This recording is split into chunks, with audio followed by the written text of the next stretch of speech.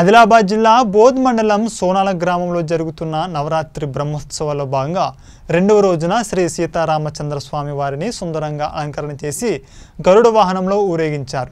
స్వామివారి దర్శనార్థం వివిధ కాలనీల నుండి ప్రజలు తండోపతండాలుగా విచ్చేశారు. వందల సంఖ్యలో మహిళలు మంగళహారతులతో స్వామివారిని రథోత్సవంలో పాల్గొన్నారు.